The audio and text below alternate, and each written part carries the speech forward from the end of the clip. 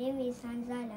I am 9 years old and I am from Sekolah Rendah Islam Al-Amin Ceras Selatan. My game supports the sustainable development goal that is climate action. We must reduce, reuse and recycle to combat climate change. My game is called Clean the Road.